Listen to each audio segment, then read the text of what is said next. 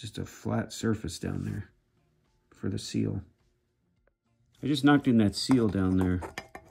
Uh,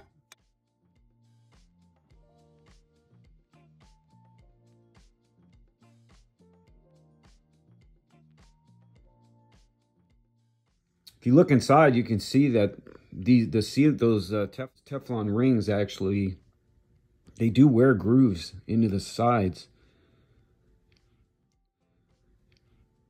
So I'm about ready to put this thing back in now. I got that new seal in right there.